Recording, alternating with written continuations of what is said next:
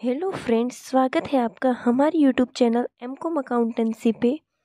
आपने अभी तक हमारे चैनल को सब्सक्राइब नहीं किया है तो प्लीज़ सब्सक्राइब कर लीजिए एंड स्टार्ट करते हैं आज का video friends for providing facility for to TET turn was one thousand five hundred मतलब उसने कितना रेंट कितना रिसीव किया सबलेटिंग सॉरी सबलेटिंग हाउस पर?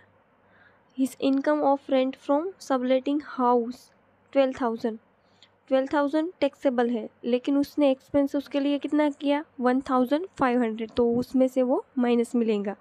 He has also received rent rent of six thousand from let let outing plot situated in urban area received rent from subletting urban area के जो उसका plot है उससे उसको rent receive हुआ वो भी ऑल्सो टैक्सेबल है six thousand he has received over time remuneration of the three thousand rupees three thousand rupees non taxable हो ही जाएगा क्योंकि उसका रेम्यूनरेशन uh, की क्या है कि ज़्यादा अगर मिला हो सैलरी uh, के हिसाब से होता है रेम्यूनरेशन कि थ्री थ्री लेख तक, अभी के हिसाब से थ्री लेख तक कोई टैक्स नहीं है। वैसे तो उसकी सैलरी के हिसाब से उसका ओवर टाइम के टैक्स रेट तय होता है।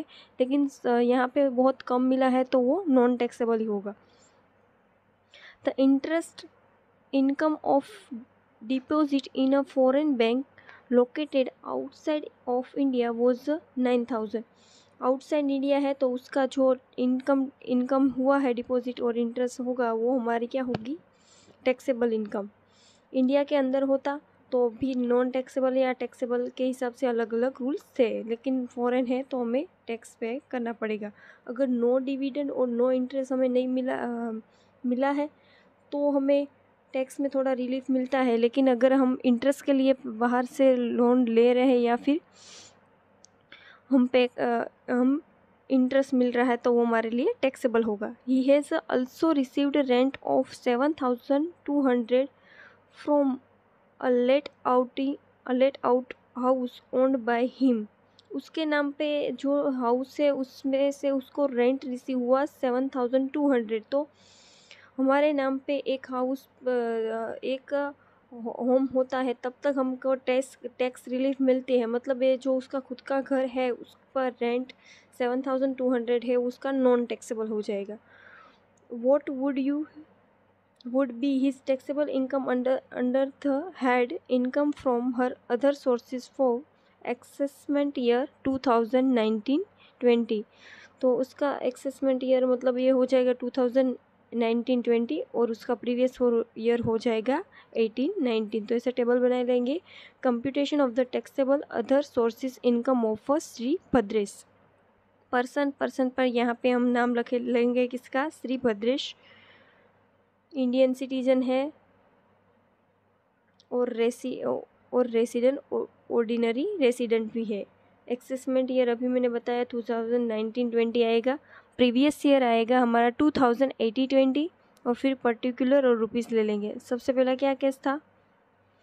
Income income of rent from subletting house.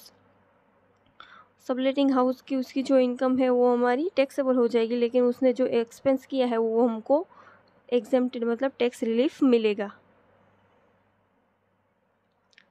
Received rent from let outed situated in urban area also, उसका मैंने अभी समझाया था आपके प्लॉट भी जो उसका लिया है, उसके रेंट रिसीव हुआ, वो ऑल्सो आपका टैक्सेबल हो जाएगा।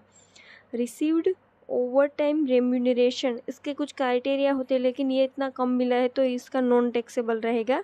अगर ज़्यादा मिला होता तो हमें टैक्स सैलरी के हिसाब से रेम्यूनरेशन का टैक्स के परसेंटेज निकालते, लेकिन यहाँ पे कम है तो वो नॉन टैक्सेबल रहेगा। Interest income of deposit in foreign banks also उस इनकम जो हुई है फॉरेन बैंक में इन्वेस्ट करने से वो हमारी टैक्सेबल हो जाएगी। Received rent from let outed house on by him उसके नाम पे जो हाउस है, उसमें रेंट मिला है, इसलिए उसका वो नॉन टैक्सेबल हो जाएगा।